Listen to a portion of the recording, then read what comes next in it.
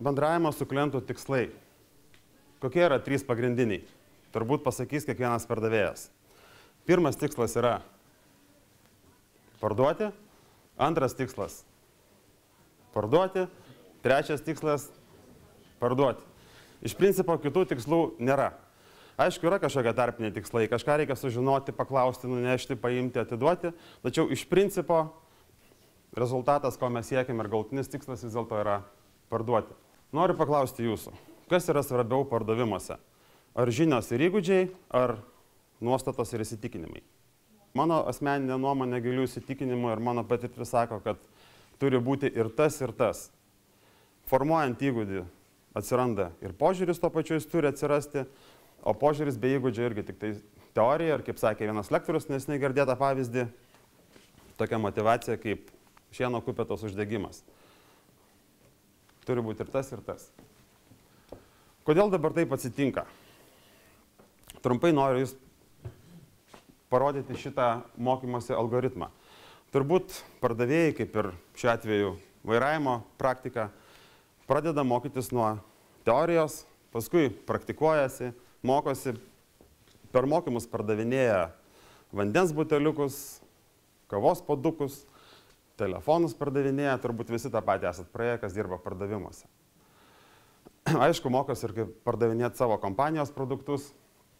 Ir tada ateina viena diena, kada jie pamato realų gyvenimą. O gyvenime pasirodo reikia visai kitų dalykų. Tai, kas buvo mokytas, dažniausiai neveikia.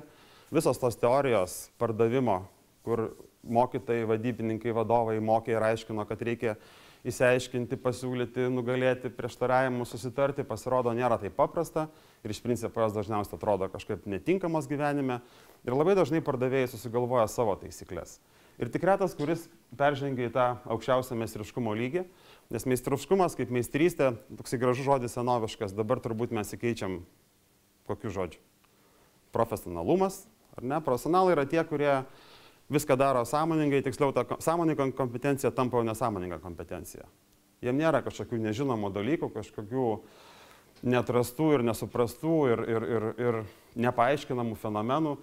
Pardavimas taip pat kaip ir kiekvienas mokslas ir kiekviena specialybė jau senai yra įsiaiškinta, visi etapai, visi procesai. Tiesiog tai reikia išmokti teisingai daryti ir tą daryti. To nedarant, pasaulis atrodo labai baisus ir nesuprantamas. Ir ką aš tai parodysiu savo prezentaciją tolimesniai. Turbūt jeigu paklausčiau jūsų auditorijos, kiekvienas turėtumėt kažkokį kitą įsitikinimą, ar ne? Pardavimas tai pinigų gavimas, pardavimas sandario sudarimas, pardavimas tai sutarties pasirašymas ir panašiai. Tačiau ką reiškia parduoti? Aš esu daug pardavėjų mokęs. Tai uždavau iš tą klausimą, kas yra pardavimas, dažniausia tokio iškumo ar nėra. Ką reikia padaryti, kad parduoti? Susidraugauti, prispausti kažkaip pirkėją, manipuliuoti jos, manipuliuoti, apgauti kažkiek gal truputį, kad tik sutiktų nupirkti. O iš tikrųjų parduoti tai reiškia įtikinti. Yra pakeisti žmogaus nuomonę. Be pigų rasti tą razinką, kuriam jau reikia. Tai čia ne pardavimas, tik ją rasti reikia. Radai, žmogus sako, ačiū, kad pasirodė laikimų, reikiamų laikų reikiamą vietai. Ir viskas. Visas pardavimas. Jokio pardavėjo darbo, jokių kompetencijų, jokių įgūdžių. Nu, vairavimo įgūdžių reikia, ne? Tai va, o iš tikrųjų eiliniai mūsų klientai, potencialūs klientai, jie dažniausiai nenori pirkti. Tuo metu, kai mes pas juos ateinam, kai susitinkam, juos reikia įtikinti, kad jie užsinorėtų pirkti. Problema ir poreikis. Ko trūksta problemai, kad netaptų poreikiu? Kas tie klaustukai? Koks šis žodis turi būti rašytas va šitoje vietoje? Čia yra noras. Tai va, jeigu yra noras spręsti problemą, tai yra poreikis. Nėra noro, nėra poreikio. Noras nedidelis, poreikis mažas. Tai va čia ir apsiverčia visas supratimas. Ne pardavimo technika, o pardavimo technikos supratimas. Įsiaiškinus problemas, noras nepadidėja. Reikia kažką daryti, kažkaip tai bendrauti su klientu, kad tas noras didėtų. Spręsti. Spręsti problemą problemą spręsti noras didėtų. Ne pirkti produktą, o problemą spręsti didėtų noras. Kaip atsiras noras spręsti problemą, klientas nusipirks produktą. Nu, problemų, problemas. Dabar kaip tą padaryti? Principas taip pat labai paprastas. Kliento darbinės problemos, probleminės situacijos.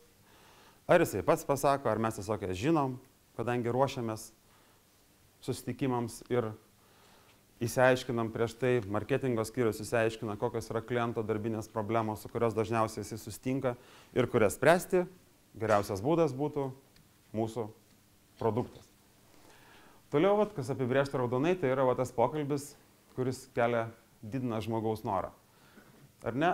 Tai kalbėjimas apie pasiekmes, tai yra trūkumai, nenamatytos aplinkybės, kažkokios stacijos, kurias gali sukelti klientui tos problemos buvimas arba atsiradimas, arba naudas, kurias klientas gautų, jeigu ta problema ar tos problemos įsispręstų, jeigu jos neatsitiktų.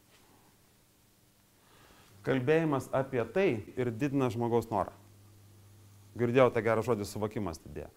Tai vadidėja žmogaus suvokimas, kliento suvokimas, kuo būtent blogai, kad aš tas problemas turiu, kuo blogai, kad tos problemos gali kažkokios atsitikti, arba kuo gerai, jeigu jos neatsitiks, arba jos sumažės, arba išnyks. Tai va kaip didėja tas suvokimas, atsiranda neišvengiamai noras.